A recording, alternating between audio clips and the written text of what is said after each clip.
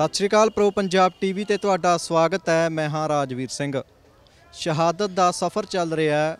ਧੰਨ ਧੰਨ ਬਾਬਾ ਜ਼ੋਰਾਵਰ ਸਿੰਘ, ਬਾਬਾ ਫਤਿਹ ਸਿੰਘ ਤੇ ਮਾਤਾ ਗੁਜਰ ਕੌਰ ਜੀ ਸਰਸਾ ਦੇ ਕੰਢੇ ਤੋਂ ਵਿਛੜ ਕੇ ਗੰਗੂ ਨੂੰ ਮਿਲ ਜਾਂਦੇ ਨੇ ਤੇ ਗੰਗੂ ਦੇ ਘਰ ਆ ਜਾਂਦੇ ਨੇ।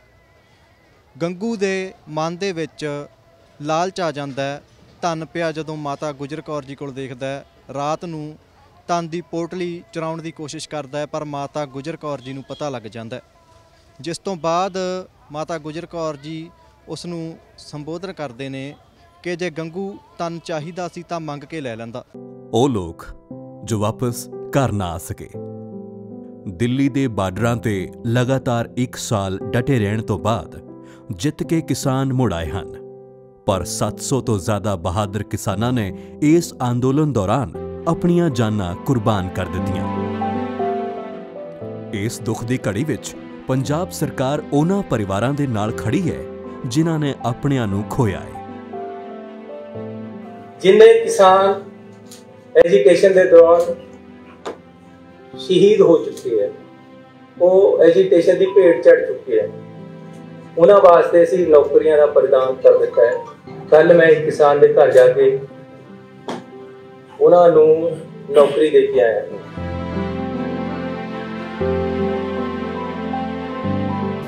ਇਸ ਤੋਂ ਬਾਅਦ ਸ਼੍ਰੀ ਬਲਜਿੰਦਰ ਸਿੰਘ ਪੁੱਤਰ ਸ਼੍ਰੀ ਜੰਗ ਸਿੰਘ।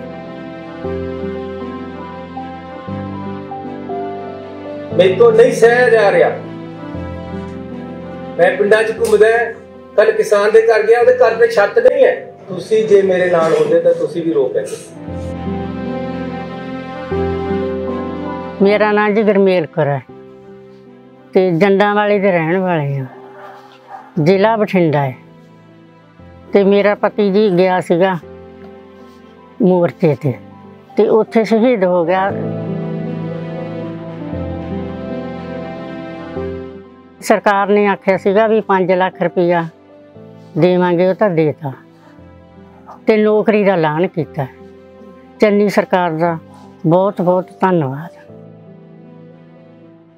ਪਰ ਗੰਗੂ ਦੇ ਮਨ ਦੇ ਵਿੱਚ ਬੇਈਮਾਨੀ ਹੁੰਦੀ ਹੈ ਗੰਗੂ ਉਲਟਾ ਮਾਤਾ ਗੁਜਰ ਕੌਰ ਜੀ ਤੇ ਤੌਮਤਾਂ ਲਾਉਣ ਲੱਗ ਜਾਂਦਾ ਗੰਗੂ ਕਹਿੰਦਾ ਕਿ ਇੱਕ ਤਾਂ ਮੈਂ ਤੁਹਾਨੂੰ ਆਪਣੇ ਘਰ ਦੇ ਵਿੱਚ ਪਨਾਹ ਦਿੱਤੀ ਤੇ ਦੂਜਾ ਤੁਸੀਂ ਮੇਰੇ ਉੱਪਰ ਹੀ ਦੂਸ਼ਣ ਲਗਾਉਂਦੇ ਹੋ। ਜਿਸ ਤੋਂ ਬਾਅਦ ਗੰਗੂ ਕੋਤਵਾਲ ਨੂੰ ਇਤਲਾਹ ਦੇ ਦਿੰਦਾ ਹੈ ਤੇ ਕੋਤਵਾਲ ਸਰਹੰਦ ਦੇ ਸੂਬੇ ਵਜੀਦ ਖਾਨ ਨੂੰ ਇਤਲਾਹ ਦੇ ਦਿੰਦਾ ਹੈ। ਤੇ ਸੂਬਾ ਸਰਹੰਦ ਵਜੀਦ ਖਾਨ ਇੱਥੋਂ ਆਪਣੀ ਗਾਰਦ ਭੇਜ ਕੇ ਸਾਹਿਬਜ਼ਾਦਿਆਂ ਸਮੇਤ ਮਾਤਾ ਗੁਜਰ ਕੌਰ ਜੀ ਨੂੰ ਬੰਦੀ ਬਣਾ ਲਿਆਉਂਦਾ ਹੈ। ਰੱਥ ਦੇ ਵਿੱਚ ਬਿਠਾ ਕੇ ਸਾਹਿਬਜ਼ਾਦਿਆਂ ਨੂੰ ਮਰਿੰਡੇ ਤੋਂ ਫਤਿਹਗੜ੍ਹ ਸਾਹਿਬ ਲਿਆਇਆ ਜਾਂਦਾ ਹੈ ਇਨ੍ਹਾਂ ਹੀ ਰਸਤਿਆਂ ਦੇ ਉੱਪਰ ਇਨ੍ਹਾਂ ਹੀ ਪੋਹ ਦੇ ਦਿਨਾਂ ਦੇ ਵਿੱਚ ਇਨ੍ਹਾਂ ਹੀ ਠੰਡ ਦੇ ਦਿਨਾਂ ਦੇ ਵਿੱਚ ਧੰਨ ਧੰਨ ਬਾਬਾ ਜ਼ੋਰਾਵਰ ਸਿੰਘ, ਬਾਬਾ ਫਤਿਹ ਸਿੰਘ ਤੇ ਮਾਤਾ ਗੁਜਰ ਕੌਰ ਜੀ ਨੂੰ ਵਜੀਦ ਖਾਨ ਦੀ ਫੌਜ ਗ੍ਰਿਫਤਾਰ ਕਰ ਲਿਆਉਂਦੀ ਹੈ ਮੁਰਿੰਡੇ ਤੋਂ ਜਦੋਂ ਵਜੀਦ ਖਾਨ ਦੀ ਫੌਜ ਵੱਲੋਂ ਸਾਹਿਬਜ਼ਾਦਿਆਂ ਤੇ ਮਾਤਾ ਗੁਜਰ ਕੌਰ ਨੂੰ ਬੰਦੀ ਬਣਾ ਕੇ ਰੱਥ ਦੇ ਵਿੱਚ ਲਿਆਇਆ ਜਾਂਦਾ ਹੈ ਤਾਂ ਇਸ ਅਸਥਾਨ ਦੇ ਉੱਪਰ ਰਥ ਨੂੰ ਉਤਾਰਿਆ ਜਾਂਦਾ ਹੈ। ਰਥ ਨੂੰ ਰੋਕਿਆ ਜਾਂਦਾ ਹੈ ਤੇ ਉਸ ਦੇ ਵਿੱਚੋਂ ਸਾਹਿਬਜ਼ਾਦਿਆਂ ਤੇ ਮਾਤਾ ਗੁਜਰ ਕੌਰ ਨੂੰ ਇੱਥੇ ਉਤਾਰਿਆ ਜਾਂਦਾ ਹੈ।